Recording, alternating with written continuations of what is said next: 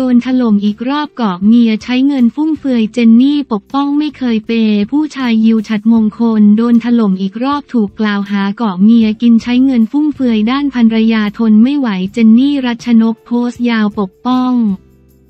ลั่นไม่เคยเปผู้ชายจากประเด็นดราม่าเจนนี่รัชนกกับสามียิวฉัดมงคลที่ได้มีการทะเลาะกันกลางไลฟ์สด จนทำให้ยิวถึงขั้นโมโหป้าของสายหน้าเจนนี่ทำเอาชาวเน็ตคอมเมนต์วิจารณ์กันสนั่น อาทิ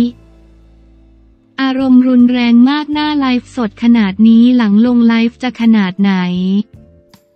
สงสารเจนนี่ค่ะ ซึ่งต่อมาทางยิวจับมือเจนนี่ออกมาไลฟ์สดชี้แจงเคลียร์ใจขอโทษและยอมรับผิดกับสิ่งที่เกิดขึ้น อีกทั้งยังบอกต่อว่าตนจะไม่เลิกกับเจน เพราะว่ารักเจนและรักลูกมาก ผมไม่อยากให้ลูกขาดแม่ ถ้าแบบนี้จะกลายเป็นเกลียดกันเจนนี่ยิวเคลียร์ใจสามีไม่ตลกด้วยตอบชัดจะเลิกไหม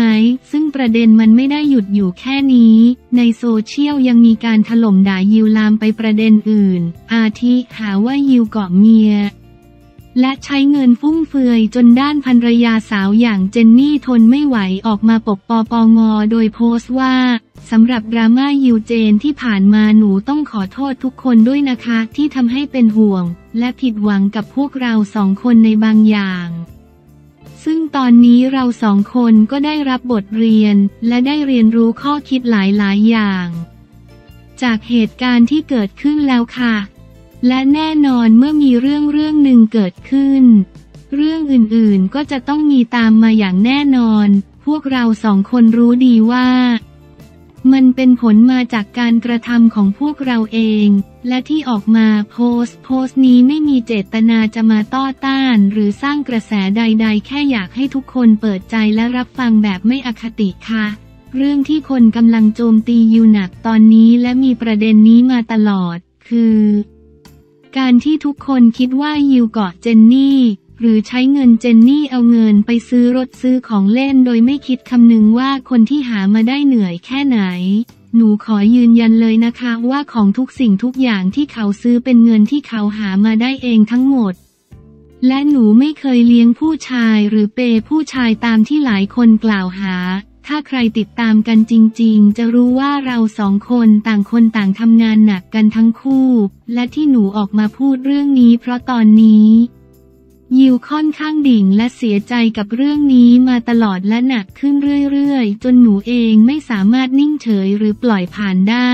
หนูจึงอยากปกป้องเขาในส่วนที่ไม่เห็นความจริงบ้าง เพราะที่ผ่านมายิวเองก็กล้าปกป้องเจนนี่มาตลอด ในเรื่องที่เจนนี่ไม่เป็นความจริง ครั้งนี้หนูขอใช้พื้นที่ตรงนี้ปกป้องครอบครัวในส่วนนี้นะคะ สุดท้ายนี้หนูทราบดีว่าเราเป็นบุคลาสาธารณะ ต้องรับให้ได้กับทุกๆคอมเมนต์แต่เราเองก็มีสิทธิที่จะพูดหรือชี้แจงในส่วนที่ไม่เป็นความจริงใช่ไหมคะ ที่เหลือใครจะคิดหรือตัดสินใจยังไงก็ตาม อย่างน้อยตอนนี้หนูก็ได้พูดได้ทำในสิ่งที่หนูควรทำแล้ว หนูไม่อยากให้ข้อเสียเล็กๆน้อยของเขา ต้องมาทำลายความสุขเขาไปทั้งชีวิต ต่อมาพบว่าขณะที่ยูไลฟ์ขายของมีช่วงหนึ่งที่เจ้าตัวน้ำตาคลอ คาดว่ากลั้นไม่ไหวกับดราม่าถาโถม เลยรีบใส่แว่นดำอย่างทันที อีกทั้งยังได้พูดเอาไว้ว่าความโชคดีของผม คือการมียูจินเข้ามาในชีวิต และทุกครั้งไม่ว่าปัญหาของใครที่เกิดขึ้น เพราะว่ามียูจินผมกับเจนเลย ผ่านมาได้ งานนี้ทำเอาแฟนๆต่างเข้ามาคอมเมนต์ให้กำลังใจกันอย่างมากมาย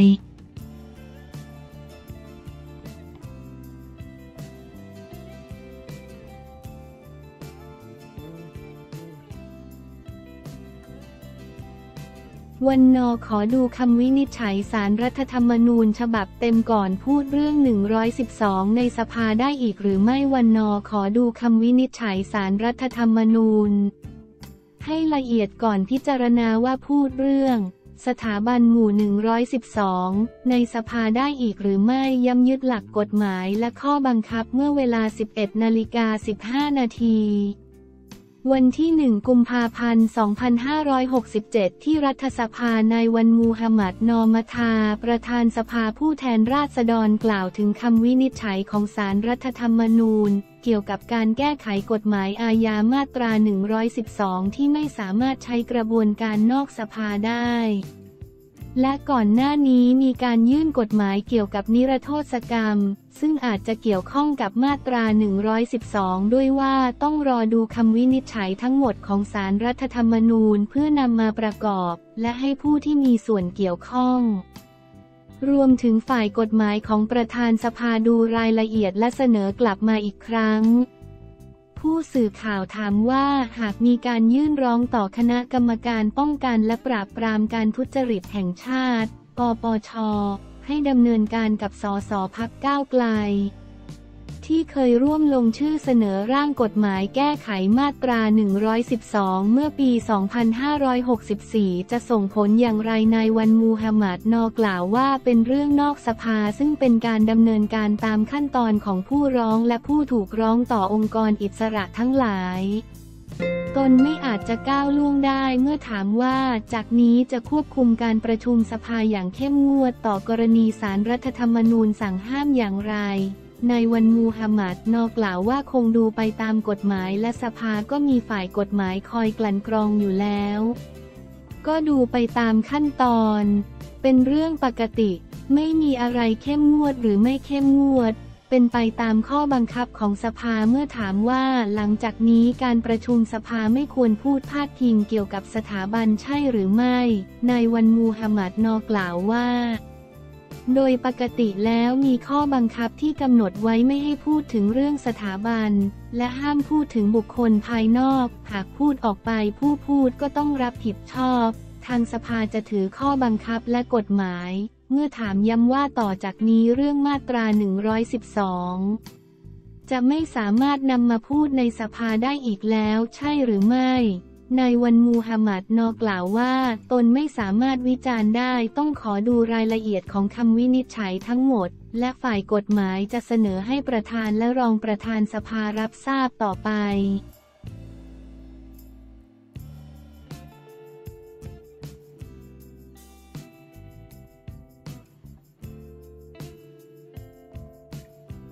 บาสปอป้ออัดคู่ผสมจีนลิ่วรอบ 3 แบด Thailand Masters การแข่งขันแบดมินตัน HSBC BWF World Tour Super 300 รายการ Princess สิริวัณวรี Thailand Masters 2024 ชิงเงินรางวัลรวม 210,000 เหรียญสหรัฐ หรือประมาณ 7,240,000 บาท ที่สนามอาคารกีฬานิมิบุตร สนามกีฬาแห่งชาติกรุงเทพมหานคร ประเทศไทย เมื่อวันที่ 1 กุมภาพันธ์ บาส เดชาพลพัววรานุเคราะห์กับปอปอทรัพย์สิรีแต้รัตนชัย คู่มือวางหนึ่งของรายการคู่มืออันดับ 6 ของโลก ลงทำการแข่งขันในประเภทคู่ผสมในรอบที่สองดวลกับเฉินซิงกับจางชีคู่มืออันดับ 138 ของโลกจากจีนปรากฏว่าบาสปอป้อไม่ทำให้แฟนๆชาวไทยผิดหวัง ด้วยการเอาชนะไปแบบไม่ยากเย็น 2 เกมรวด 21-8 และ 21-17 ผ่านเข้ารอบ 3 ได้สำเร็จด้าน ครีน บุษนันอึ้งบำรุงพันธ์มือวาง 5 ของรายการมืออันดับ 19 ของโลก ยังได้ไปต่อเช่นกันหลังเอาชนะมาวิกาบันโสด มืออันดับ 55 ของโลกจากอินเดียเกมรวด 24 ถึง 22 และ 21 ถึง 7 เข้ารอบต่อไป ส่วนประเภทชายคู่ พี พีรัชชัย สุขพันธ์ กับ โอโม ภัคพล ธีระรัตน์สกุลคู่มืออันดับ 76 ของโลก เบียดเอาชนะลีโอโรลี่คานานโดกับ แดเนียล มาร์ติน คู่มือวางสามของรายการคู่มืออันดับ 11 ของโลกจากอินโดนีเซีย2ถึง1เกม 21ถึง17 19ถึง21 21ถึง16 เข้ารอบเช่นกัน